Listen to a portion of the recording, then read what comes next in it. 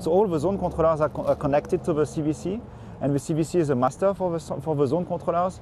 It's here to abstract all these IOs, so all the IOs that are coming from the zone, and the data that we can collect from the zone, the CVC is here to abstract it and convert that into a service-oriented communication.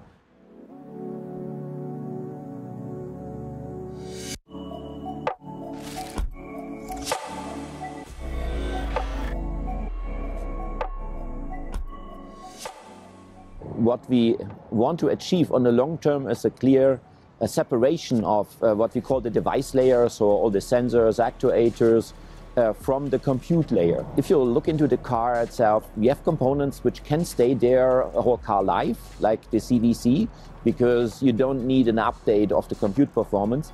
But other components, uh, which similar to our mobile phones, uh, needs updates. The new middleware which we are creating now uh, enables us to move the software without any change. The CVC is a centralized um, compute which is responsible for the powertrain and the chassis, but it's not controlling the loads. So it's a master for the body functions and it's a master gateway for the outside world, so for the um, over-the-air connect connectivity. And uh, this is also controlling then the zonal controllers. The CVC is here to coordinate them together, to synchronize them. So it's uh, like the leader in a music band and is coordinating them, uh, controlling that they um, execute at the right time, or they are sensing and actuating, and uh, is also routing them to uh, routing the data to the right zone because the zone doesn't know what the other zone has. So the CVC is here to route that uh, that uh, information to the right place.